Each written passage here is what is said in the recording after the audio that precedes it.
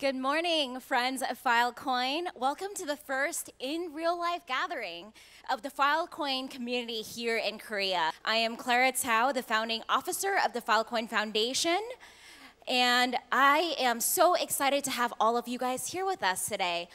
I wanted to start off by talking about IPFS and Filecoin and how it's changing the way the internet is built. IPFS lets you create an immutable reference to your content, regardless of where your content lives. And Filecoin is a perfect complement as a highly resi resilient decentralized network aiming at storing internet scale data at hyper competitive prices. In fact, last time I checked, we're around 1 100th the cost of AWS. Today, IPFS and Filecoin are laying the groundwork for Web3, and it's the only storage solution that is built to scale with the metaverse. But first, I want to talk about the Filecoin Foundation. The Filecoin Foundation is one of a team of nearly 60 people around the world and one of many groups in the Filecoin ecosystem, making Filecoin the go-to source of decentralized storage not just only in the world, but also in the universe. We actually recently launched a partnership with Lockheed Martin to bring IPFS to space. And and we are not doing this alone. Today, we have a lot of large scale programs to support new app developers, engaging over 10,000 developers through hackathons, awarding more than 230 developer grants in just the last 12 months alone. And thanks to a bunch of partner accelerators, we're helping teams transform and build their experiments using Filecoin or IPFS into high impact businesses. We've graduated um, tons of teams in 2021, and we're set to graduate over 100 by the end of this year. We're also seeing such incredible developer traction through GitHub contributors, forks, and other developer metrics. In fact, Filecoin is one of the top five most actively developed blockchain protocols in all of Web3. And how are startups using Filecoin today, and what are they building?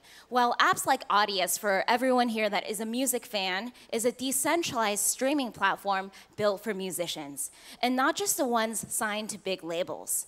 Audius actually recently landed a deal with TikTok to let artists upload their music to TikTok to be used in videos. And this is all done using IPFS.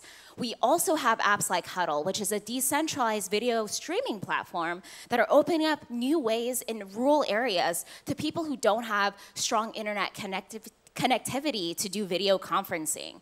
We also have partners like Numbers Protocol that are building a decentralized photo network that gives unique content identifiers to each photo uploaded to the firework and uh, uh, to the network and also guards against important things like online disinformation and content manipulation. We also have partners like Slate, which makes it so easy to upload and store data on Filecoin um, that is similar to a traditional Web2 tool like Dropbox or Google Drive. And this is also something that we're seeing a lot of interest from creators to use. And finally, our host here today, Secured Finance, um, they are an interbank grade financial transaction platform with automatic collateral management and market to market mechanisms. And they're such important partners of ours um, across the ecosystem. I also wanted to share an announcement that is so exciting that we're sharing more later this year, Filecoin Virtual Machine which is bringing to life decentralized storage with smart contracts uh, capability. Filecoin Virtual Machine actually unlocks all kinds of possibilities on Filecoin, from pro programmable storage primitives to cross-chain interoperability, to bridges to other protocols across Solana, Ethereum, and also Near.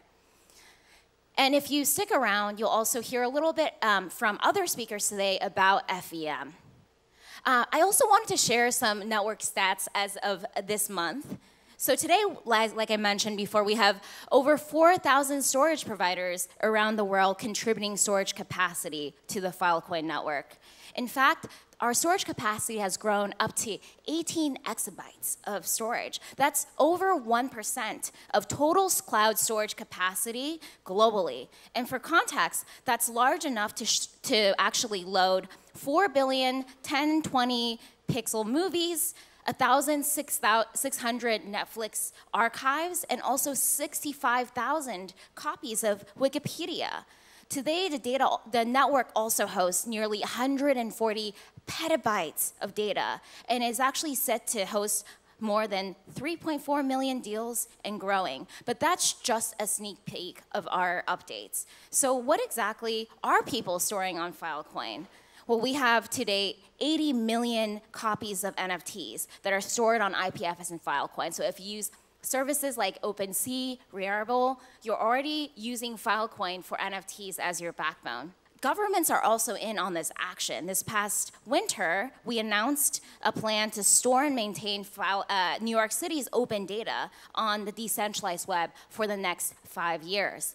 This project actually allows New York City at no cost to explore decentralized technology and how it can be an asset to the city to improve government operations.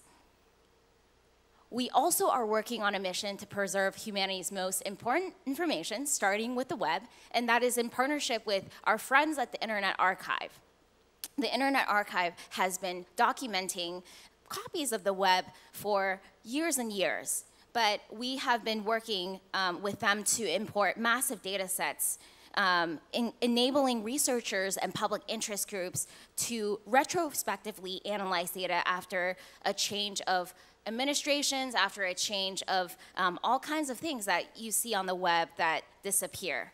We're also starting to see uh, a number of interests in the use of decentralized technology and content addressing in um, the movement of assets in places such as the metaverse. In fact, Filecoin is the only network that is built to scale with the metaverse. And storage is storage needs are actually expanding exponentially thanks to AR and VR and also um, we are one of the best systems capable of handling data sets, small to large, with um, us being a great solution. With clients, stored data, commune members, and storage providers growing each day, um, we also have a number of needs from the Filecoin community in governance. And we have tons of protocol changes we've done with community members like yourself that has been debated by the community. In fact, we have 30 of these kind of Filecoin improvement proposals, um, or FIPS, that are done and can be contributed by anyone in the community. And these aren't simple changes. Many of these proposals can include uh, proposals for technologies on the cutting edge of Web3 world, from novel zero knowledge proof constructions, creations, and deployment on FVM. We're also committed to building networks that are strong, secure, and sustainable. And we want to be at the forefront of the environmental movement and change among the crypto community. And so one of our initiatives, Filecoin Green, actually seeks to make the blockchain carbon neutral and in time carbon negative. And most importantly, we hope that we can also inspire others to come along with us uh, for this journey. The Filecoin community, thanks to all of you guys being part of it, has accomplished so much in the last 22 months since mainnet launch, and we're just getting started we can't wait to hear not only from our speakers today, but also what you guys are all working on, what you're building on Filecoin, how you're leveraging decentralized storage, what you hope to see in the upcoming months, and also what you need to get there. We're here to help. Like I mentioned earlier, we've given over 230 developer grants and tons of funding to the community, to builders like yourself to, to continue building. So thanks again for being with us today and also this week. Um, the rest of this week is going to be epic. We're going to have our largest storage provider meetup in Seoul tomorrow, and I hope to see many of you there. And now I will turn it back to June to announce our next speaker. Thank you so much, everyone.